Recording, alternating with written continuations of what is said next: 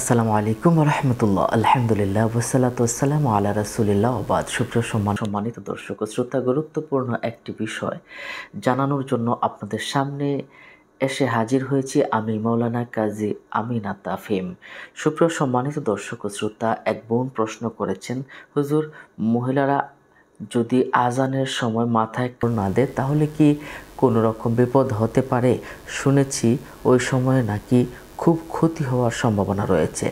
হ্যাঁ বোন, আমরা আমরা জানি যে হাদিস শরীফে রয়েছে, যখন মোয়াজিন আজান দেয়, আল্লাহ আকবার বলে যখন আজান দেয়, তখন শয়তান পশ্চাৎ বায়ু ত্যাগ করতে করতে সে দ্রুত স্থান ত্যাগ করে এবং সে পাগলের মতো হয়ে দিক বিদিক দৌড়াতে থাকে।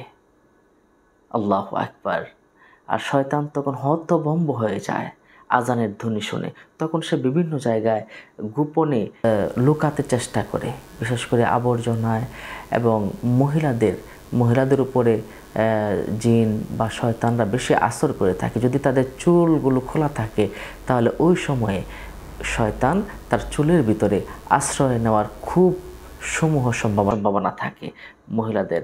আর দেখবেন যে আজান দেওয়ার সময় একদিকে আজান দিচ্ছে আর আরেক দিকে কুকুর ঘেউ ঘেউ করে ডাকছে, আজান দেওয়ার শব্দ শুনি।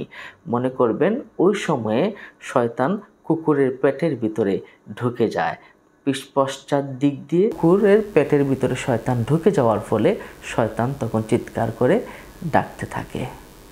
সুবহানাল্লাহ।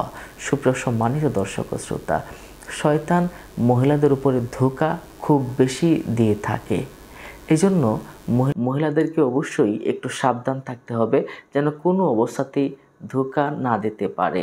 পর্দা অবশ্যই ফরজ, নামাজের সময় পর্দা করতে হবে টোটালি একদম মাথা থেকে পা পর্যন্ত সমস্ত জায়গাটা হচ্ছে মহিলাদের জন্য সতর ঢেকে রাখতে হবে। চুল যদি কোনো একদিক প্রকাশ হয়ে যায় তাহলে কিন্তু নামাজ হবে না।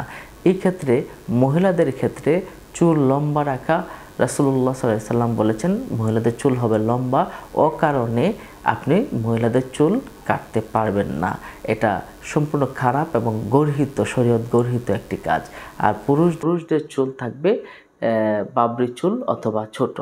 সুপ্রিয় সম্মানিত দর্শক শ্রোতা, তাহলে আজানের সময় মহিলারা মাথায় কাপড় দিয়ে ঢেকে রাখা, এটা ভালো এবং সর্বক্ষেত্রেই মনে রাখতে হবে মহিলারা যেন মাথা ঢেকে রাখে। কারণ মহারম যাদেরকে বিবাহ করা হারাম, তাদের সামনে যদি চুল দেখা যায় তাহলে সমস্যা নেই। কিন্তু অন্য মানুষ যদি চুল দেখে তাহলে আপনি গুণাগার হয়ে যাবেন। আল্লাহ পাক আমাদেরকে গুণা থেকে হেফাজত রাখুন। আমিন। আসসালামু আলাইকুম রহমতুল্লাহ।